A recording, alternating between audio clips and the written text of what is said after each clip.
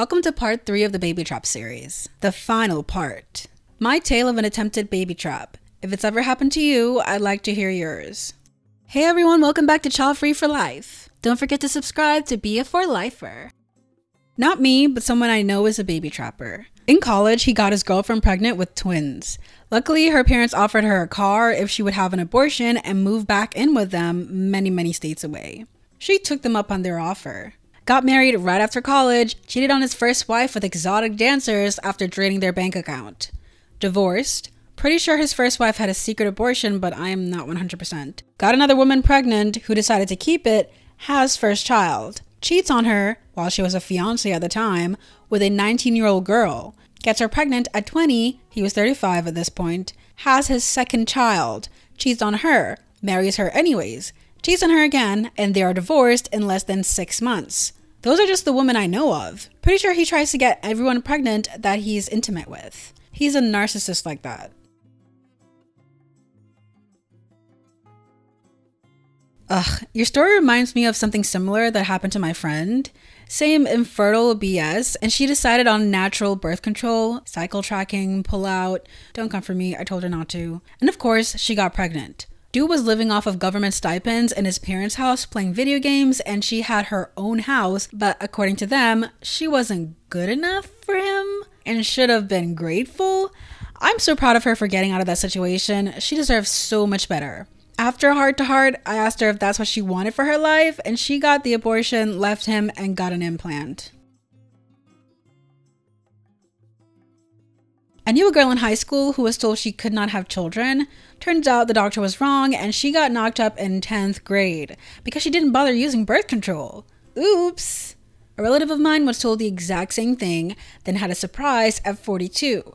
Thankfully, they were overjoyed and baby had no problems given the advanced maternal age. Doctors make mistakes. The miracle pregnancies happen. I would be skeptical of any claim of natural infertility that hasn't been vigorously tested. As a woman, I wouldn't trust this claim from a guy unless I personally view his swimmer's count results. But I'm not victim blaming OP. She was quite young at the time. Related story, but he wasn't purposely trying to trap her, he's just stupid. My sister, 20 at the time, started dating a divorced 26 year old. He said one of the reasons he and his ex separated was because they wanted to have kids but couldn't because he was infertile. Six months later, my sister found out she was five months pregnant. She believed him so deeply that even though all the signs of the pregnancy were there, she missed them. She has two previous abortions in high school, so it wasn't her first pregnancy. When she told him she was preggers, they were already engaged. She asked about his infertility, he said he never actually got tested, but his ex didn't get pregnant the year they tried, and he was in the military, so he assumed he can have kids. Moral of the story don't believe what a guy or girl says about down there. Ask to see the papers. My sister was told by her second ex husband that he was sterile. She then got pregnant with her third kid, first two from her first marriage. I don't know her stance on abortion, I also don't want to ask, but she decided to keep him. I have a feeling part of her was just like, this is kind of a miracle. I already have two, and this was my first boy, so what the heck? I want to clarify that this one wasn't really lying that I know of, and this really was a big deal for him. Also, this guy, despite being told his then wife's body would be completely ruined and almost irreversibly damaged, threw a fit about her wanting to get her tubes tied because what if something happens to his baby and then he has to have a replacement? It was at that moment I lost all respect for him as a person. My sister, who doesn't have a spine in most relationships, didn't get her tubes tied then and just opted for birth control. She's also still waiting in child support from this lazy frick who can't hold a job. Sorry, that last paragraph was kind of a rant. OP, this man was 10 years older than you and trying to be with you? That is a huge red flag right there. I'm so sorry you went through all of this, OP. I hope you're in a much better, healthier situation now. Thank you for this. More than a few men are in the comments mad about my saying that a 30 year old man being with a 20 year old girl is a red flag. It just is, and I don't care who doesn't like it. Now that I'm 30, I couldn't even enjoy hanging out with a 20 year old, much less try and have a romantic relationship with one. One glaring reason is that 20 year old me wasn't wise enough to question a grown man telling me he was infertile. At my age now, I wouldn't even consider believing that without proof. The mind just isn't fully formed at that age. Let me tell you something from the time I was 15 till now. I've seen a few guys who are well into their late 20s go after you, get females who are 19 or 20 years old, and in one case, the female was 24 years old and the guy was 35 years old. The reason why it raises such a red flag with me is because I know for a fact, 90% of the time, the intentions of pursuing someone that young aren't pure. Men that age tend to go after women that age because the woman is old enough to be considered a legal adult, but don't quite have the life experience to really think about what it is that they are really saying yes to. And the guy tends to think that they can mold them into the woman they want them to be.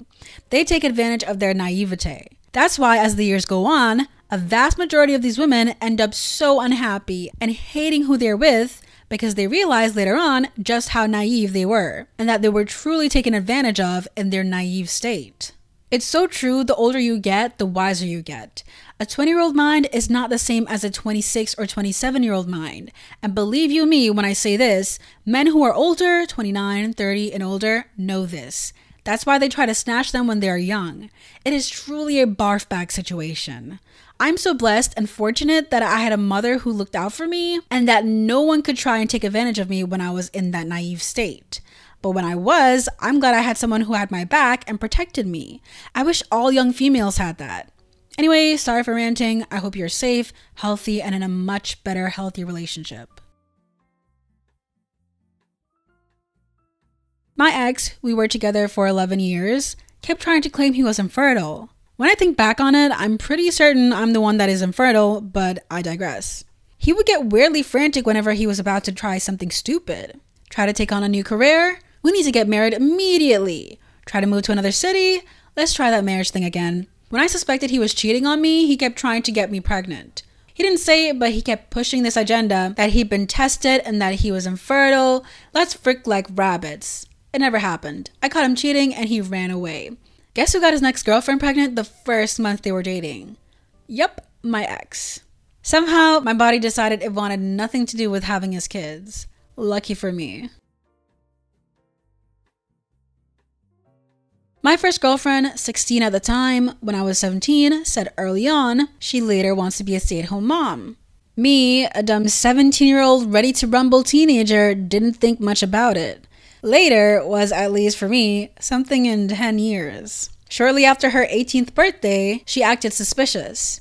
Meanwhile, my child free view grew heavily. It began with one forgotten pill. No problem, rest of the month, protection. Then she changed the brand of her pill and took them in the morning, where I didn't see it anymore. She also began to announce her safe days, which was in reality the other way around. I sat her down and she admitted that if an accident happened, she would keep it, but she would stop for now to get herself pregnant. This was the moment all my ready to rumble left. I sleep with her one more time after party, but I didn't finish. Three months later, she was one month pregnant. She and her parents celebrate while telling me. I was completely shocked. It felt like hours, but in reality, it wasn't even 10 months. I said, It's not for me. There is no way I'm the father, and I want a paternity test. Her parents were angry at me, but only in the first moments until they realized what that would mean. She started crying that she's sorry. Then I left. As far as I know, she never got the baby. Maybe she was never pregnant. I'm in contact with her next BF, now ex, because nearly the same thing happens to him. She wants a baby, it doesn't work, he gets tested, and the result is he is 100% sterile. But he doesn't want to tell her for a while. They try, and suddenly she thinks she's pregnant. He gets himself tested again and again, 100% sterile. She then left him for a guy she already slept with. End of story. She is now with the guy she cheated with, but still no baby. But a dog. Some idiot at work told me I should baby trap my husband as he will be less likely to leave me and the government would give me lots of money for being a single mom if he did leave. I'm not in the US, obviously. I think that's what she did to her own boyfriend, and her brother had it done to him. I explained, but I didn't really need to. that me and my husband are child free as he doesn't want to be an old dad and I respect his wishes. And I've struggled with mental health my whole life and would be a terrible mother. Not to mention impending climate collapse. What a terrible reason to bring a baby into the world. As some calculated career move?